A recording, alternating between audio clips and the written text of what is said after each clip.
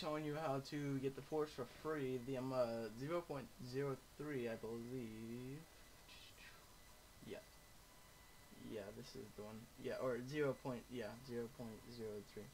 Anyways, what you're gonna do is uh, go to the link in the description,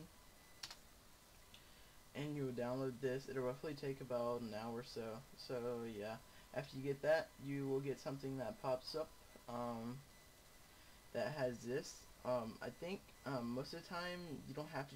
You, well, this will have to load up, and then it'll play automatically. So yeah, and there you go. That's how you get it for free. And if you guys don't believe me, I would download it now, but um, I don't. I, I don't have time, obviously.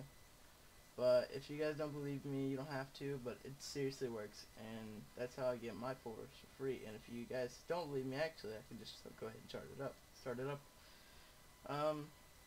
Do do do. I don't know if you guys see that or not, but that's the game. Anyways.